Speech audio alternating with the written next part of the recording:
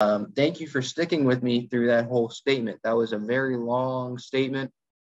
Um, and again, it was a pissing match at the Players Association. The Players Association took shots at the league, and the league is taking shots at the players.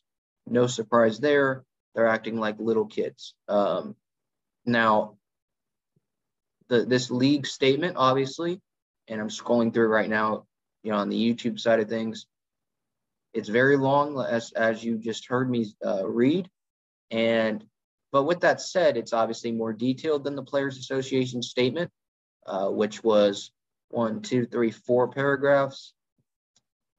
Major League Baseball's was one, two, three, four, five, six, seven, eight paragraphs. So it was double um, the length.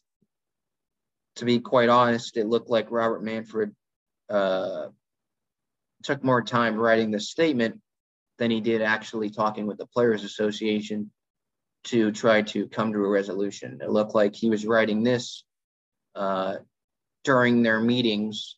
Um, it took actually it took more time. I mean, they had a seven minute meeting on Wednesday, I believe. So it took way more time for him to write this dang statement than it did for him to actually be talking with the Players Association on Wednesday. So that's pretty much embarrassing.